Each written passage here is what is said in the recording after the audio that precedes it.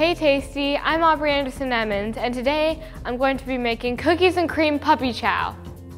Cookies and cream is my favorite flavor of all time. This is my favorite treat to share with my friends and castmates. I always take the cookie apart and then I eat the cream because it's like the best part. I love to cook all the time. Sometimes for breakfast, I like to eat toast with mayonnaise on it. It seems weird, but it's delicious.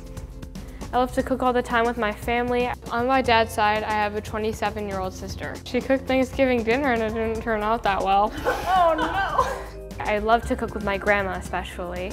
We always cook at Christmas together. Every year when I see my grandma, we always have like a three course meal. We bake like bread rolls, ham, make mini cheesecakes sometimes. Those are delicious. We put cherries on top of them. I like eating the food, but I am a picky eater. I don't really have any family traditions. We always have a gingerbread house usually. Are you good at decorating gingerbread houses? No, not really. The frosting and putting like the whole entire gingerbread together, it's just hard. I love to make this recipe because it's so easy. There isn't a lot of cooking involved. You just need a microwave to melt the chocolate.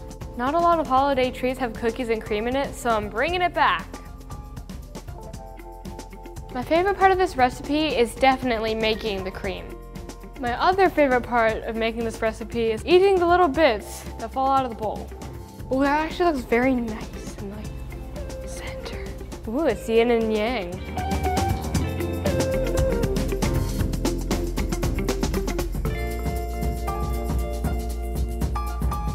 Hmm, this is the best.